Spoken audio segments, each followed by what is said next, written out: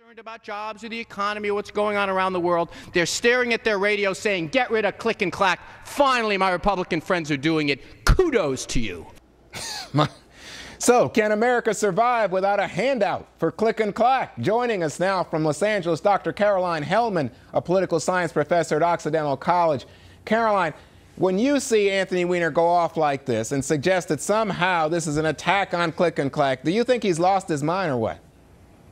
Well, no, I think he's making a very important point that we're uh, acting like this is a priority when the world is falling down around us. Um, and I would go a step further and say that um, NPR is a really important source of mainstream news. I know they're re being rebranded as being really liberal and radical, but the fact of the matter is they cover stories that no one else covers. They include viewpoints from across the political spectrum, and even conservatives and Tea Party members are coming out to defend them. So the focus on this issue, I think, is misplaced, and Representative Weiner is bringing that, that topic up. Well, I think you must have missed that videotape where you had NPR's number one fundraiser said we'd be better off without federal funding. Well, you know, I'd have to disagree with him on that point. I think symbolically it's very important for us as a public uh, to have national funding for such a thing as NPR. Um, it is the most trusted news source, according to a recent Harris poll. Uh, its listenership has gone up dramatically in recent years, and they're truth tellers. I mean, that's the, the question we should be asking is why are the, the biggest polluters on the globe, uh, or top 10 biggest polluters, the Koch brothers, so concerned about taking down NPR? And I would argue it's because they're telling some truth that no one else is I telling. see. And would you be uh, similarly concerned that George Soros is putting so much money into NPR yes. from a liberal perspective?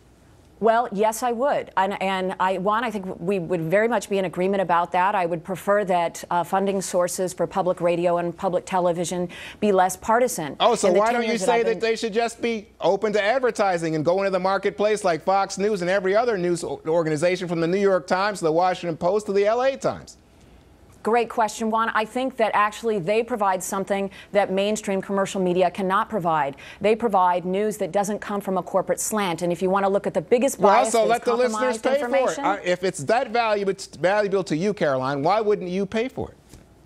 Well, I do pay for it through my taxes, and that's where how I would like to pay for it, in addition to my individual contributions. Oh, I see. But wait a second, hold on. So then you're saying it's more important in terms of your tax spending than Social Security, more important than, let's say, a, a scholarships for college children, more important than, more. than the police or the fire. You, you want to have that as your priority, even at a time of fiscal constraints.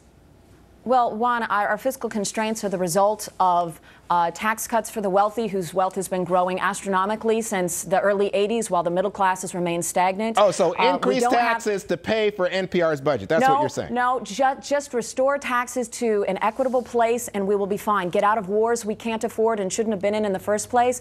This, this either or doesn't make sense to me when I look at the books and I see that we're a wealthy country that can pay for everything we prioritize. Well, Unfortunately, we happen to be prioritizing corporate welfare and welfare for the wealthy. Well, let me ask you something, Carol. Caroline, just from a journalistic point of view, do you think it's okay for one side or the other, for Soros or the Koch brothers, anybody, to be paying into the pot to tell NPR, here's what you have to do in order to get the money? We saw that in the videotape where NPR's fundraisers are even willing to do business with the Muslim Brotherhood. I think that's bad news. I don't think journalists should be having to work under those conditions, Caroline. Well, Juan, they did refuse the $5 million. They did vet the organization. And I actually think the video has been a bit blown out of proportion. Not only was it doctored, um, we do know from Chris Parker's research at the University of Washington that, Washington that people who identify with the Tea Party do have a greater amount of racial resentment. I happen to agree with Schiller that your comments were bigoted.